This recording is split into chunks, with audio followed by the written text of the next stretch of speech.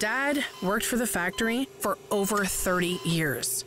They didn't warn him about the dangers of asbestos. They said nothing.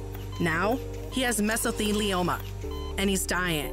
If you or someone close to you has been diagnosed with mesothelioma, you could qualify for compensation. Call Miskin Law for free advice. Don't delay. There are time limits to making claims. Go to asbestoscanada.com. Miskin Law. Canadian lawyers fighting for Canadians.